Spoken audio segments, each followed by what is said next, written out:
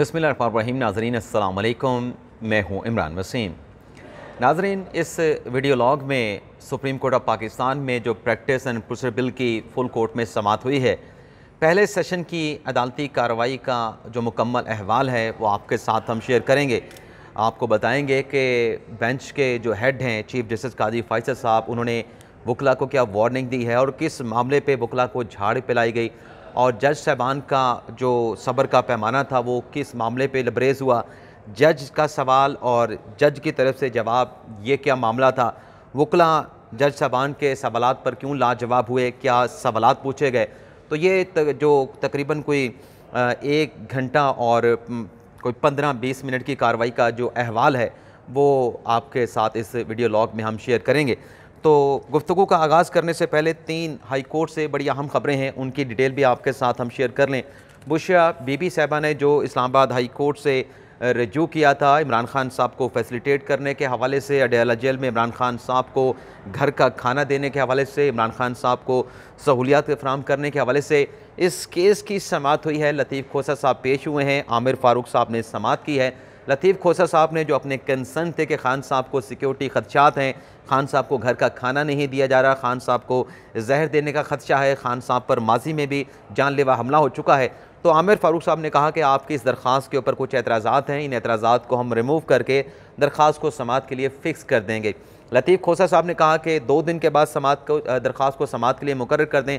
तो आमिर फ़ारूक साहब ने पाँच अक्टूबर की तारीख दे दी है कि बुशा बीबी साहबा की अपने खामद इमरान खान साहब से मुतलक सहूलियात देने से मुतलक इस दरख्वास्त पर जो समात है वो पाँच अक्टूबर को की जाएगी। इसके अलावा शेर अफजल मरवत साहब का भी मामला था। आज इस्लामाबाद हाई कोर्ट में जस्टिस अरबाब ताहिर साहब ने इस केस की समात की है। कितने केसेस हैं शेर अफजल मरवत के खिलाफ? क्या उनका नाम ई सी एल में शामिल किया गया है? फ्री कैन को नोटिस जारी करते हुए इस्लामाबाद हाई कोर्ट ने इस मामले पर जो है वो रिपोर्ट तलब कर ली है। इसके अलावा खान साहब की जो नौ जमानतें कल इस्लामाबाद हाई कोर्ट ने बहाल की, ट्रायल कोर्ट के फैसले को कलदम करार दिया और ट्रायल कोर्ट से कहा कि दोबारा से इन बेल एप्लीकेशन की समात करके फैसला सादर फरमाएँ। तो कल के इस फैसले के बाद आज चेयरमैन पीटीआई इमरान खान ने जो नैब केसेस में उनकी ज़मानतें रिजेक्ट हुई थी, अलकादर ट्रस्ट केस में तोशा खाना के केस में, उनमें भी इमरान खान साहब ने आज ज़मानतों के लिए इस्लामाबाद हाई कोर्ट से रजू कर लिया है। अब आ जाते हैं जो सुप्रीम कोर्ट में प्रैक्टिस एंड प्रोसीजर बिल की समात हुई है, उसका अहवाल आपके साथ हम शेयर कर लेते हैं। नाजिन, जब साढ़े नौ बजे अदालती कार्रवाई का वक्त जो है वो मुकर किया गया था शुरू की चंद बातें जो है वो ये था कि काजी फ़ैसल साहब जब कोर्ट में आए, उनकी जानब से कहा गया कि कोशिश है कि आज मुकदमा ख़त्म करें। काजी फ़ैसल साहब ने कहा कि सुप्रीम कोर्ट एक ही मुकदमे को लेकर बैठी नहीं रह सकती। ख्वाजा तारक रहीम, इम्तियाज़ सदीकी, अटॉर्नी जनरल को सुन चुके हैं। मुझसे सवालत जो पूछे गए थे, उनका जवाब मैंने देना है। ख्वाजा तारक रहीम साहब ने कहा और अपने ग्रैंड सन का ज़िक्र जब किया ख्वाजा तारक रहीम साहब ने तो काजी फ़ायसा साहब ने उनको बात करने से रोक दिया कि ख्वाजा साहब ऐसी बातें ना करें, आपने केस पे आरू करना है। और फिर काजी फ़ायसा साहब ने यह भी कहा कि सुनवाई का मतलब ये नहीं कि दिनों तक जो है इस केस की समाज जो है वो चलती रहे। इसमें सवाल ये है कि ये जो चीफ जस्टिस के अख्तियार से मुतल कानून बनाया गया है, क्या पार्लियामेंट ये कानून साजी कर सकती है? पार्लियामेंट के पास इस चीज़ का अख्तियार था। चीदा चीदा जो आपके दलाइल हैं, आप दलाइल दें। और ये कोई ऐसा केस नहीं कि अख्तियार की कोई जंग है। कि मैं जंग का लफ्ज़ भी काजी फ़ायसर साहब ने कहा कि मैं इस्तेमाल नहीं करूँगा। हमारी कोशिश है कि आज इस केस को कंक्लूड कर लें। एक मुकदमा अगर ले बैठ जाएँगे तो सुप्रीम कोर्ट में मुकदमात की तादाद में मज़ीद इजाफा हो जाएगा, सुप्रीम कोर्ट में मुकदमात की तादाद बढ़ती चली जाएगी। अगर कुछ रह जाएगा तो फिर आप वकला से दरख्वास्त होगी कि तहरीरी तौर पर आप अपने दलाइल दे दें और ख्वाजा साहब जो है बहस कर चुके हैं। बेहतर क्या ये नहीं रहेगा कि पहले अटारनी जनरल साहब दलाइल दे लें, उसके बाद जो अटारनी जनरल के दलाइल से आपने जवाबुल जवाब में दलाइल देने हैं, या वकला ने जो अपने दलाइल देने फिर वो अपने दलाइल दे लें। लेकिन कुछ दरख्वास्त गुजारा है उनकी जानब से कहा गया कि नहीं, पहले हमें सुना जाए और बाद में अटारनी जनरल को बात करने का, दलाइल देने का मौका दिया जाए। तो फिर चीफ जस्टिस साहब ने, इकराम चौधरी साहब जो कि न्याजुल्ला न्याजी साहब हैं, इमरान खान साहब की लीगल टीम के रुकन हैं पी टी आई के रहनुमा हैं तो उन्हें दलाइल देने की इजाज़त दी जस्टिस काजी फैसल साहब ने। तो जब वकील इकराम चौधरी साहब ने अपने दलाइल का आगाज़ किया, उन्होंने कहा कि ये पर्सन स्पेसिफिक कानून है, ये एक मकसद के तहत जो है वो बनाया गया कानून है और एक मखसूस वक्त के लिए बनाया गया कानून है। तो काजी फाइसर साहब ने उनसे ये सवाल पूछा कि ये जो आप पर्सन स्पेसिफिक कानून को करार दे रहे हैं टाइम स्पेसिफिक करार दे रहे हैं या एम स्पेसिफिक करार दे रहे हैं ये कानून में किस जगह पे लिखा है? लेकिन अगर ये आपका तासर है आपका एनालिसिस है तो फिर एनालिसिस की बात करें अपने तासर की बात करें ये ना कहें कि कानून के अंदर ये सब बातें जो है वो लिखी गई हैं।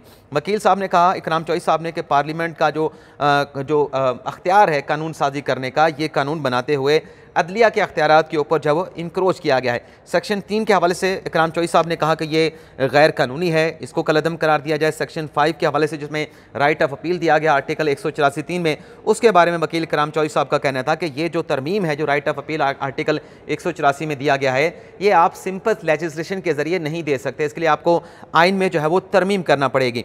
और फिर सेक्शन आठ से मुतल बताया कि ये जो सेक्शन आठ है कानून का, ये तो पूरी जो अदलिया की आज़ादी है, उसको बिल्डोज कर दिया गया है। ऐसे एरिए में जाके पार्लियामेंट ने जाके ये कानून साजी किए कानून बनाया है, जहाँ पर उनका अख्तियार नहीं था।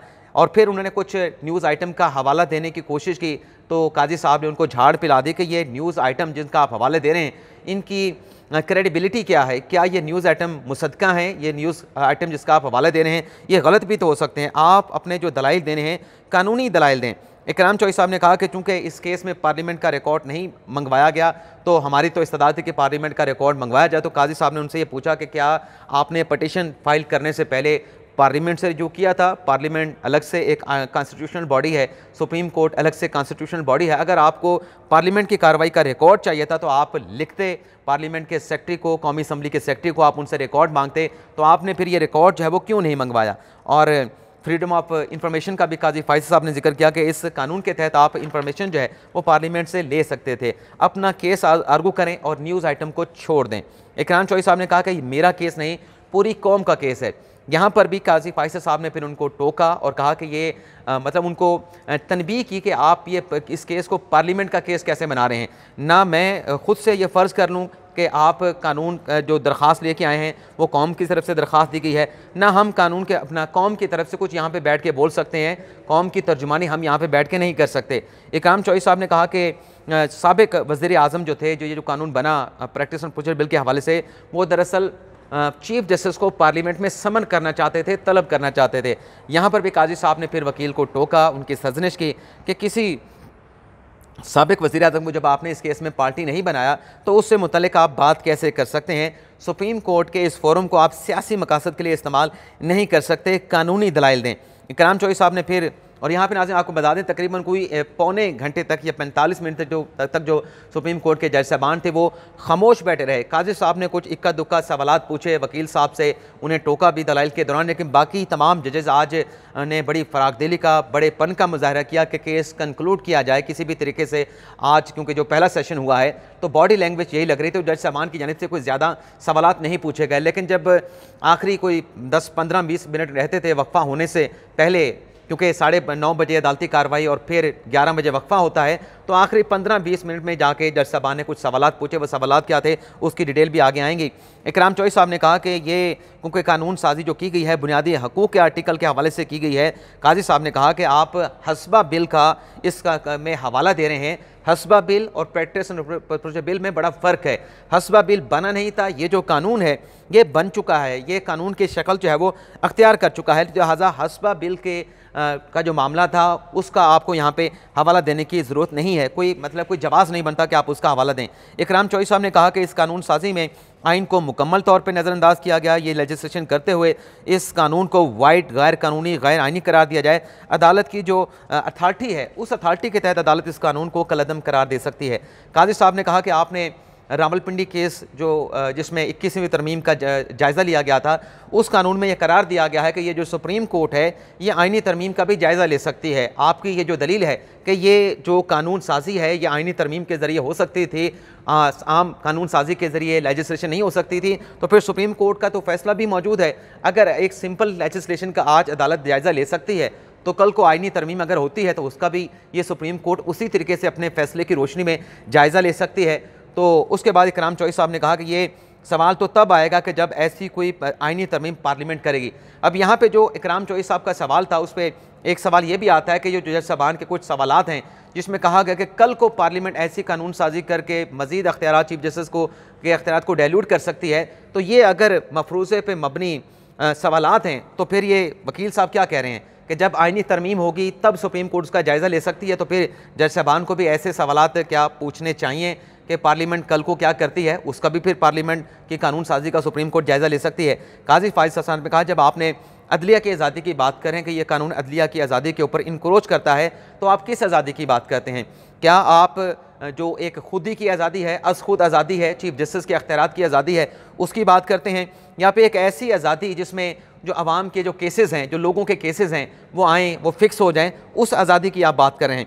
यहाँ पे इकराम चौधरी साहब इस चीफ जस्टिस के पूछे गए सवाल का जवाब जो है वो नहीं दे सके, लाजवाब हो गए और कोई उनसे जवाब जो है वो नहीं बन पाया। काजी साहब ने कहा कि कल पार्लियामेंट एक कानून बनाती है कि जो बेवाओं के केसेस हैं, वो अदालतें जो हैं, आला अदालतें जो हैं वो तरजीहन सुनेंगे, तरजीहत की बुनियाद पे उन केसेस को सुना जाएगा विडोज़ के केसेस को बेवाई को केसेस को।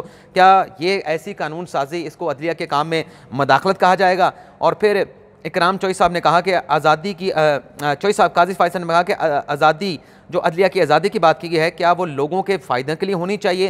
क्या अदलिया की आज़ादी लोगों के नुकसान के लिए होनी चाहिए? अगर कोई चीज़ लोगों का रास्ता रोकती है तो उससे अदलिया की आज़ादी कैसे होगी? सरदार तारक मसूद साहब ने यहाँ पे काजी फ़ायसा साहब को सवाल करने से रोका और उनके साथ कुछ मशावरत की। तो फिर काजी फ़ायसा ईसा साहब ने कमरा अदालत में कहा कि मुझे, मेरे जज साहब ने बात करने से रोक दिया है कि इनको आर्गूमेंट जो है वो मुकम्मल करने दें। इसके आगे फिर इकराम चौई साहब ने ए के बरोई साहब की किताब का हवाला दिया।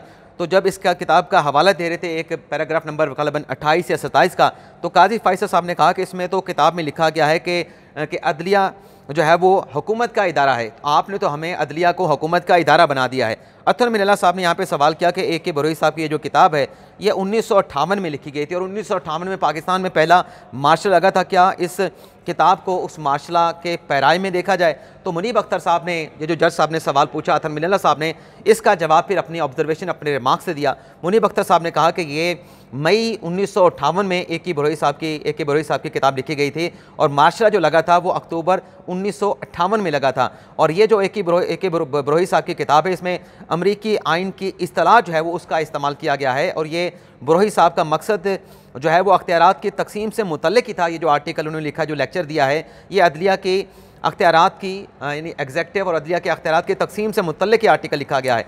मुनीब अख्तर साहब ने कहा कि असल जो सवाल है वो ये है कि क्या पार्लियामेंट ऐसी लेजिस्लेशन, ऐसी कानून साजी कर सकती है? क्योंकि ऐसी कानून साजी जहाँ पर पार्लियामेंट जाके कानून साजी लेजिस्लेशन नहीं कर सकती, उसे आइन के साथ फ्रॉड करार दिया जाता है। मुनीब अख्तर साहब ने कहा कि आप पार्लियामेंट, कान, पार्लियामेंट के बनाए कानून से सुप्रीम कोर्ट की जो फंक्शनिंग है फंक्शनिंग है, उसको रेगुलेट किया जा सकता है। ऐसी कानून साजी हो सकती है। जो चौदह दिन की अपील दी गई है, वो बाहिर तो एक अच्छी है, लेकिन क्या पार्लियामेंट सुप्रीम कोर्ट को रेगुलेट कर सकती है ऐसी कानून साजी से। मोहम्मद अली मजद साहब ने बड़ा अहम और बड़ा अच्छा सवाल पूछा कि आइन के कौन से ऐसे आर्टिकल हैं? पूछा जनाब कराम चौई साहब से, जिनसे आप ये समझते हैं कि पार्लियामेंट को ये कानून साजी करने का अख्तियार नहीं था। बरोही साहब ने जो कमेंट्री की है मोहम्मद अली मजर साहब ने भी एक ही बरोही साहब की किताब का हवाला दिया कि उनकी किताब में जो कमेंट्री की गई है, वो अमरीकी आइन के मुताबिक है। लेकिन यहाँ पे आप ये कह रहे हैं कि कानून अल्ट्रा वाई अल्ट्रा वायलिस है तो आप आइन की शिकों के साथ हवाला दें कि ये कानून जो है आइन की कौन सी शिकों के साथ मुताबकत नहीं रखता।